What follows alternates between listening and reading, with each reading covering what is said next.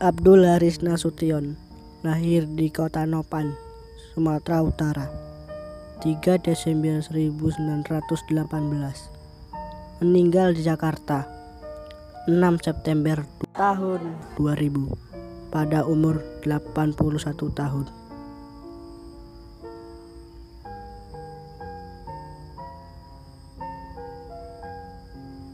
Adalah seorang pahlawan nasional Indonesia yang merupakan salah satu tokoh TNI AD yang menjadi sasaran dalam peristiwa gerakan 30 September.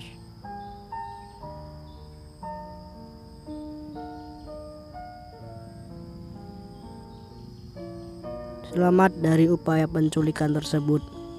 Namun, Nasution harus kehilangan putrinya adik Irma Suryani Nasution beserta ajudannya.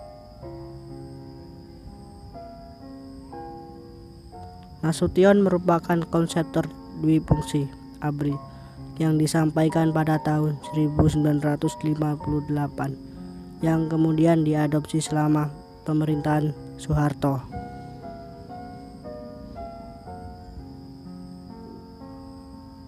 Konsep dasar yang ditawarkan tersebut merupakan jalan agar ABRI tidak harus berada di bawah kendali sipil, tetapi pada saat yang sama tidak boleh mendominasi sehingga menjadi sebuah kediktatoran militer.